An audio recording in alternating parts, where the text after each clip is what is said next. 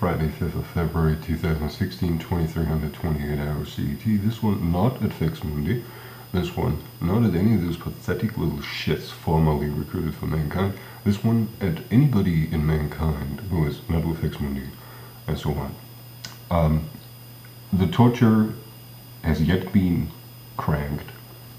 There is a creature upstairs again, running up and down, stomping like crazy, fucking into the fields, overlapping fields again. I kindly urge anybody to get me dead. I don't care how you do it.